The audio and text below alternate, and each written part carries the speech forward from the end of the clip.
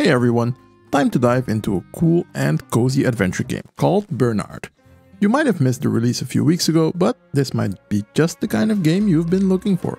So, should you spend your hard-earned money on this tough-looking little teddy bear? Stick around and let's find out together. Before we get into all the details, here's the stuff you just need to know. Bearnard is a turn-based cozy adventure game, so it will definitely appeal to any fans of turn-based games out there. The turn-based style leans more towards strategy turn-based like you would find in games like Advanced Wars for instance. What makes Bearnard really stand out is that the developer added a card battler mechanic into the mix. This makes the combat feel very dynamic and adds an extra layer of decision making that will affect the outcome of each fight you'll have. Ready to dive deeper? Let's break it down.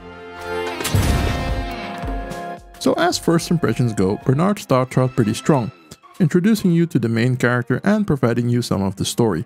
But it really grabbed my attention with the interesting combat dynamics and how you can control your main weapon, which is a bow by the way. The pixel graphics look nice, crisp and fresh, and to be honest, after growing up during the NES and the SNES eras, pixel art games will always have a special place in my heart.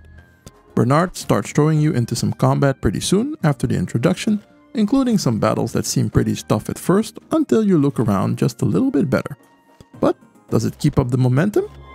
Let's move on. Now let's talk story and world building.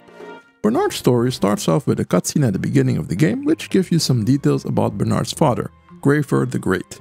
He, he left suddenly in the middle of the night and Bearnard has set off to find him. Grayfer has left notes throughout the game world giving you more bits and pieces of the story. It seems some of the animals and dwarves of the forest have starting to act very strange and before long they'll attack you as well. What's causing this strange behavior is up to you to find out by progressing through the game, of course. The overall story is not overly engaging and is not meant to be the main driver of the game. At least that was my experience. The world in Bearnard consists of diverse environments and biomes, each with its own set of unique enemies and challenges. This keeps the game pretty fresh. What I also found very entertaining were the dialogue lines of Bearnard himself which were very funny and very witty. More than once, they left me with a nice chuckle.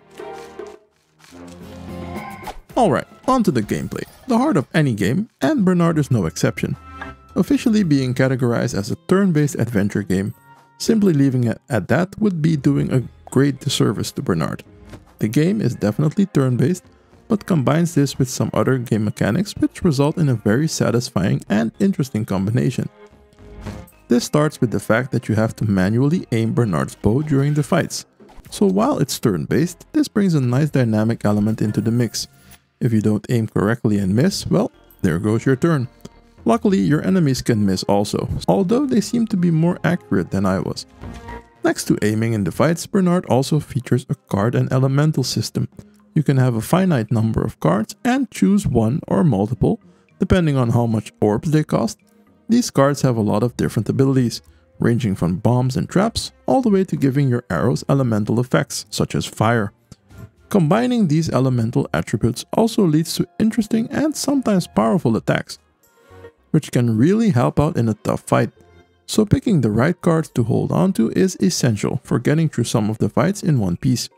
In the beginning of the game, I did have a feeling I was getting cards which were not very useful, and would have liked to see more of the elemental cards to experiment some with the combinations. This does smooth out later into the game, so try not to let this phase you out too much.